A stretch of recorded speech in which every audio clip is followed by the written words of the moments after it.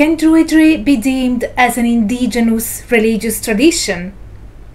Yes, and here's why. But most importantly, how.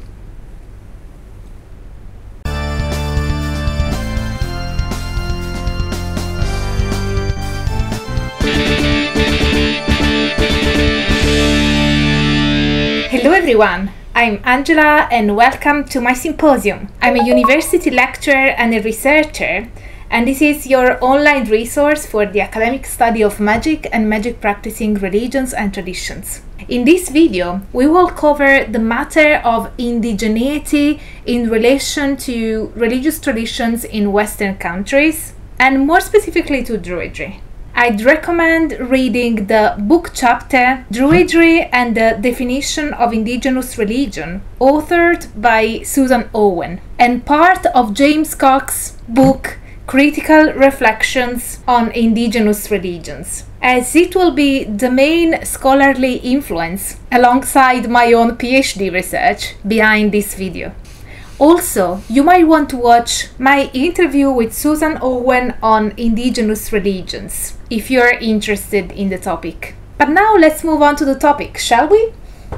In an attempt to delineate what might be the characteristics of an indigenous religion, James Cox identifies three main ones. The first being a focus on ancestors, which is found in beliefs, social practices, and rituals. Consequently, Kinship relations are of significant importance in such traditions. The second trait is the identification with one specific geographical area. This implies that their rituals and practices are not universally applicable, but rather contingent to a place within which they were developed and have generated its own cosmology. Key is also the means of transmission. For knowledge and practices in indigenous religions are passed on orally rather than via books, for example. Notably, for Cox, indigenous religions are those practiced by indigenous people.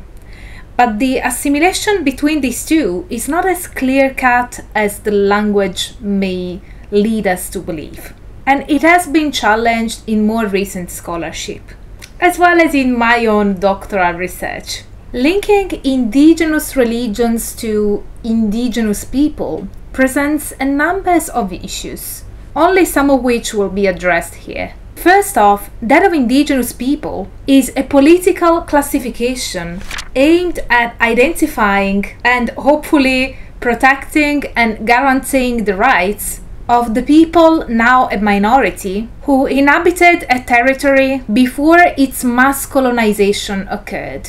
As Susan Owen reports, according to the International Labour Organization and the United Nations, indigenous people are those original or first people of a place where they have been colonized. This concept, however, seemed to be particularly applicable to those countries where a massive wave of colonization occurred in a short period of time and on a large scale. So, to starkly remark a distinction between the before and after, the outsider and the native people, the colonizer and the colonized. However, colonizing waves have happened throughout history and have affected all countries and peoples around the world, indigenous or not. Also, what about indigenous people who are original inhabitants but have never been colonized? And how do we position those who are no longer colonized? As these examples show, the category of indigenous people is an extremely useful one when it comes to politics and the need to uphold the rights of a minority. Living in a country where a massive wave of colonization occurred in a relatively short period of time, restructuring completely the people face of said country. And yet, this category appears to be too limited when trying to understand indigeneity from an anthropological point of view. especially when it comes to understand what constitutes an indigenous religion or tradition. It is limited because it refers to specific geographic areas, to only one type of colonization. There's also cultural and religious colonization. And to alleged stereotypes, such as aboriginal and unchanging, remarkably difficult categories to prove for any people or tradition, or other stereotypes such as primeval or exotic, which exclude a priori European countries or new indigenous religions from entering the debate, rather than a static isolation between indigenous and non indigenous cultures. What occurs can be described instead as a dynamic flow. Such a flow has been identified by Paul Johnson with the two categories of indigenizing and extending. By indigenizing, Johnson refers to the inclusion of outside elements to a local tradition in a way that the inclusion is reshaped and ingrained as part of the local tradition. An example could be importing Siberian shamanism in Italy and have Italians practice it in their own way and in relation to their territory, or import Italian witchcraft in the United States and have Americans reshape it and adapt it to local and um, their own folklore. On the other hand, extending suggests an openness on the part of the locals to export their local traditions and make them available to outsiders. Johnson here offers the example of priests of the candomblé who appear on Brazilian national television advising how anyone, regardless of African descent, can practice the religion of the African gods, the Orishas in the privacy of their own home, with or without initiation or a community of practice. This dynamic is not only present outside of the Western world, but in Europe as well. Based on Johnson's categories, Graham Harvey edited a book and a special issue, both including my own contribution, where a few of such occurrences are uncovered in the European continent.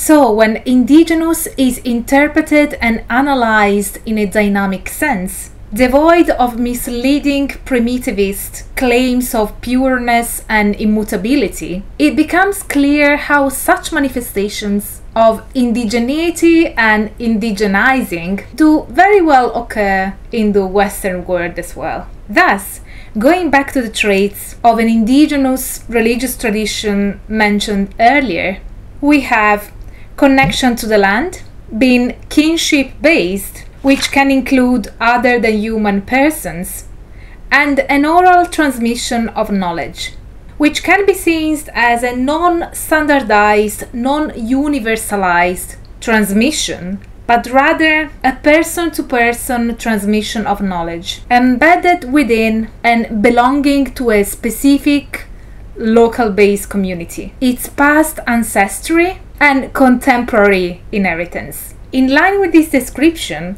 Susan Owen proposes a definition of indigenous religion as that which relates to the land, the people, and that which has gone before, and argues that Druidry can, in fact, be seen as an indigenous religion in this sense. With specific reference to the British Druid Order, which gained charitable status in September 2010 for furthering religion, Owen highlights that those who follow this path describe it as a living native spirituality for the 21st century. The matter of self identification as being part of an indigenous religious tradition is accompanied by the aforementioned traits suggesting what an indigenous religion may be. Druidry as well explained by Jennifer Uzzell in a previous video, is strongly connected to the land, to the point of fostering a high sensibility to environmental issues. In addition, in Druidry, we also see a prominence of kinship relations, including spirits, and ancestry, which can be ancestors of blood, ancestors of place, and ancestors of tradition. An ancestor can be anything human or other than human, which allowed you to be the person you are in the time and place you currently inhabit. Which I believe makes it pretty plain how pivotal ancestry is here. The Druidic tradition is also portrayed by practitioners as an orally transmitted tradition. And even though nowadays this orality can translate into podcasts and online guidance, the knowledge passed on can still be seen as community based, as well as locally based, and in a constant dialogue with its heritage, history, and reinterpretations thereof. So, provided we agree on the definition of indigenous religion, as offered in the reference scholarship and in my research, Druidry ticks all the boxes and can indeed be viewed as an indigenous religious tradition. So, this is it for today's video. Hope you liked it. Let me know what you think in the comments. I'm really curious, and I know that this may be a controversial topic, but we like controversial here. Um, if it is well argumented, well referenced, and well researched, don't we? Before wrapping up, allow me to introduce to the Inner Symposium my new patrons. Thank you so much for pledging to my Patreon. It really means the world to me. It allows me to keep going with this project, so I'm absolutely thankful for those who just pledged and those who stay pledged. Also, if you like this video, smash the like button, subscribe to the channel, activate the notification bell so that you will never miss when I upload a new video, and as always, stay tuned for all the academic fun. Bye for now.